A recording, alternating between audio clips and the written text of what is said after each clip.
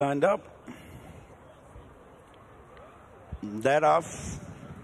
Madonna del Rosario didn't get away as well as the others. This is the Group 3 Weld Park Stakes over seven furlongs, and it's Travons up front with the Sagami and the navy coloured cap. The runner over from the UK, Lovely Mana, is prominent with Sunset Shiraz. Madonna del Rosario improves from last place, and then Albulla. Concert Hall and Say Sai and the rank outsider Pink Fire Lily at the back of the field. They're just outside the ford in it's lovely manner, and Gary Halpin showing in front of Travons and Chris Hayes the white sleeves, then Sunset Shiraz and Gary Carroll.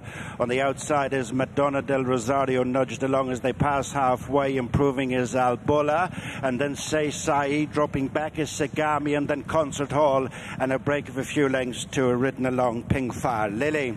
Less than three to go in the Weld Park Stakes, lovely manner from Sunset Shiraz on the outside of Poking through in between the pair, and then Say Sai, who's trying to stay on ahead of Sagami, and then Albulla, and Concert Hall picks up on the outside. Sunset Shiraz is pressed on the outside by Say Sai. Concert Hall's coming right into it. Travon switching courses. Sagami, they're bunching, and Concert Hall is wearing them down. Regains winning ways in the Weld Park Stakes from Sunset Shiraz. Say Sai, and then Travons and Well clear of Albulla.